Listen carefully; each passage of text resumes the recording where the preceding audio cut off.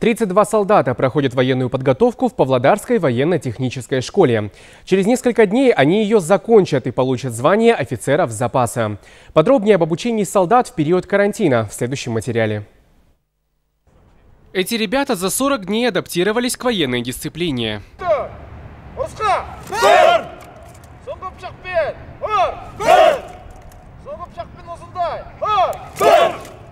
Собирать, разбирать автоматы и применять их по прямому назначению. Теперь для них элементарная задача. В соответствии с программой обучения солдаты ознакомились с общими военными уставами, а также научились вести военную разведку и работать с картами. В программу обучения также входили лекции по оказанию первой помощи осы мектепте ең бірінші маған ойға келетіні енді автоматтың аты болды Первое, что я хотел сделать, это пострелять из автомата Калашникова. Думаю, это было мечтой каждого мальчишки. У нас отличные командиры и офицеры. Им огромная благодарность за те знания, что они вкладывают в нас. Ну и мои сослуживцы, конечно. Они стали мне как братья.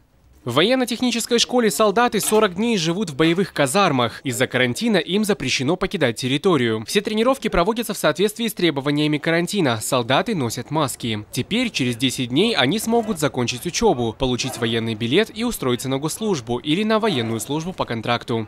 Ергали Рамазанулы, Куандык Танабас, Даулет Кушкирбаев, Ертас Акпарат.